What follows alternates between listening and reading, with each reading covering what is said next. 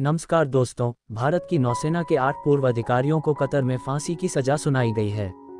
आज के वीडियो में हम इस पूरे मामले को सिलसिलेवार ढंग से समझने की कोशिश करेंगे। और साथ ही साथ ये जानेंगे कि इन अधिकारियों पर क्या केस चल रहे हैं। क्या ये कोई जासूसी कर रहे थे? ये अधिकारी जिस कंपनी के साथ काम कर रहे थे, उस कंपनी को भी जानेंगे।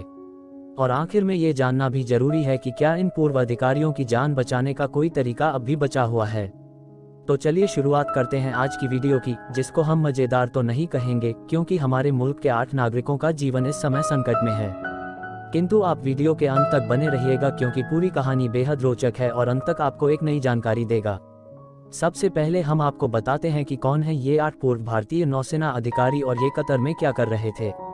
अगस्त 2022 में गिरफ़्तार किए गए भारतीय नौसेना के अधिकारियों में captain Navtej Singh Gill captain Saurabh Vashisht commander Purnendu Tiwari captain Virendra Kumar Verma commander Sugunakar Pakala commander Sanjeev Gupta commander Amit Nagpal और नाविक रागेश शामिल हैं। सभी पूर्व नौसेना अधिकारियों का भारतीय नौसेना में 20 वर्षों तक का विशिष्ट सेवा रिकॉर्ड था।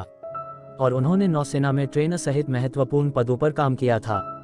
यहाँ हम आपको एक बात और बताना चाहेंगे कि साल 2019 में कमांडर पूर्णेंदु तिवारी को प्रवासी भारतीय सम्मान से सम्मानित किया गया, जो प्रवासी भारतीयों को दिया जाने वाला सर्वोच्च सम्मान है। उस समय एक पोस्ट में दोहा स्थित भारतीय दूतावास ने कहा था कि कमांडर तिवारी को ये पुरस्कार विदेश में भारत की छवि बढ़ाने के लिए दिया गया है।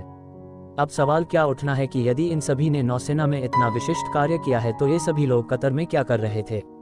सभी आठ भारतीय एक निजी फर्म, देहरा ग्लोबल टेक्नोलॉजीज़ और कंसल्टेंसी सर्विसेज़ के लिए काम करते थे, जो कतर के सशस्त्र बलों के लिए प्रशिक्षण और अन्य सेवाएँ प्रदान करती थी। कंपनी का स्वामित्व रॉयल ओमान वायुसेना के सेवानिवृत्त squadron leader Khamis Al Ajmi के पास है। अजमी को भी पिछले साल भारतीयों के साथ गिरफ़्तार किया गया था, लेकिन नवंबर 2022 में रिहा कर दिया गया। मीडिया रिपोर्ट्स के मुताबिक, मौत की सजा पाने वाले कुछ भारतीय बेहद संवेदनशील परियोजना पर काम कर रहे थे। क्यों किया गया गिरफ़्तार? इन आठ लोगों को कतर की खुफिया एजेंसी ने 30 अगस्त 2022 को गिरफ़्तार किया था। न तो कतर अधिकारियों और न ही नई दिल्ली ने भारतीय नागरिकों के खिलाफ आरोपों को अभी तक सार्वजनिक किया है। रिपोर्ट्स के मुताबिक, आठ लोगों को कथित तौर पर जासूसी के आरोप में गिरफ़्तार किया गया था। 25 मार्च को आठ भारतीय नौसेना के दिग्गजों के खिलाफ आरोप दायर किए गए थे और उन पर कतरी कानून के तहत मुकदमा चलाया गया था। अब सवाल यह उठता है कि अब भारत के पास क्या क्या कानूनी विकल्प है? आइए, जानते हैं। एक विकल्प के तौर पर तो कतर की ऊपरी कोर्ट में सजा के खिलाफ अपील या पुनर्विचार याचिका दायर की जा सकती है। अगर मामले में उचित प्रक्रियाओं का पालन नहीं किया जाता है या अपील खारिज हो जाती है तो भारत सरकार अंतर्राष्ट्रीय न्यायालय का दरवाज़ा खटखटा सकती है। कतर ने जिस गोपनीय ढंग से मामले की सुनवाई की है, भारत उसे अंतर्राष्ट्रीय न्यायालय में चुनौती दे सकता है। जानकारों के मुताबिक, अंतर्राष्ट्रीय कानून में कुछ चुनिंदा मामलों में ही फांसी की सजा का प्रावधान है। 2017 में भारतीय नागरिक कुलभूषण जाधव को पाकिस्तान ने जासूसी के आरोप में गिरफ़्तार किया था और मौत की सजा सुनाई थी। भारत सरकार ने इस फैसले को अंतर्राष्ट्रीय न्यायालय में चुनौती दी थी और जाधव की फांसी पर रोक लग गई थी। क्या काम आएगा? 2015 में हुआ समझौता। भारत और कतर के बीच 2015 में एक समझौता हुआ था। इसके तहत कतर में सजायाफ्ता भारतीय नागरिकों और भारत में सजायाफ्ता कतर के नागरिकों को बाकी की सजा पूरी करने के लिए उनके देश भेजा जा सकता है। 2015 में ही कतर के मंत्रिमंडल ने भी इस समझौते पर मुहर लगा दी थी। भारत कतर से इस समझौते के तहत आठ पूर्व नौसैनिकों को सजा पूरी करने के लिए भारत भेजने की मांग कर सकता है।